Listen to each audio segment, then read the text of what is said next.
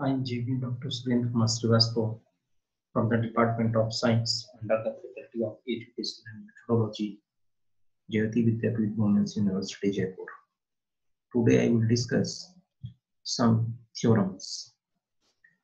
Theorem, the necessary and sufficient conditions for a non-empty subset F dash of a field F be a subfield of F. First number, A belongs to F dash comma b belongs to f dash that implies a minus b belongs to f dash. And second a belongs to f dash comma b is not zero belongs to f dash.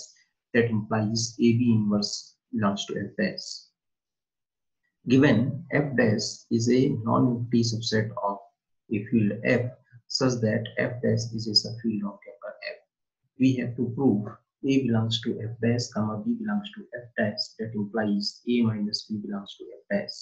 Second a belongs to f dash comma b is not zero. Belongs to f dash that implies a b inverse belongs to f dash.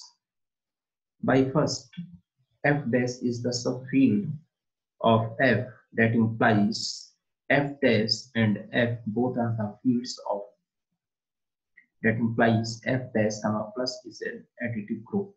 That implies a minus b belongs to f dash for all values a comma b belongs to f dash. That is a comma b belongs to f dash. That implies a minus b belongs to f dash and hence first is true now the second f dash comma plus comma dot is a field. That implies a non-empty zero a non-zero element of f dash forms a multiplicative group. A comma b belongs to f dash such that p is not zero that implies a comma b inverse belongs to f dash that implies a b inverse belongs to f dash. Hence, the second is proof.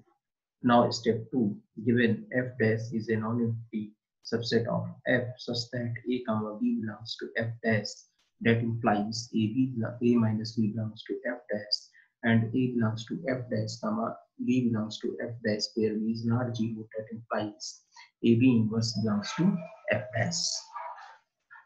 We have to prove f dash is a subfield of f or we have to show that f dash is a field.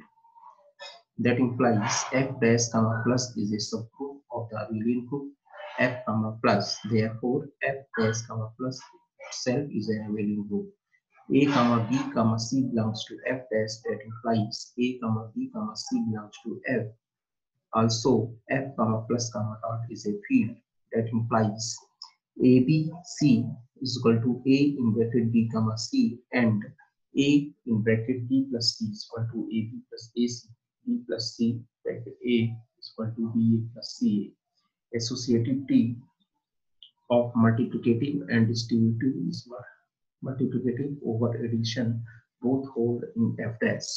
By third, a belongs to f dash comma a is not zero.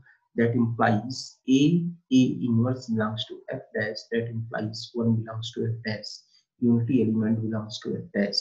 By third one belongs to f dash comma a belongs to f such that A is not zero, that implies 1 dot A inverse belongs to F dash, that implies A inverse belongs to F dash.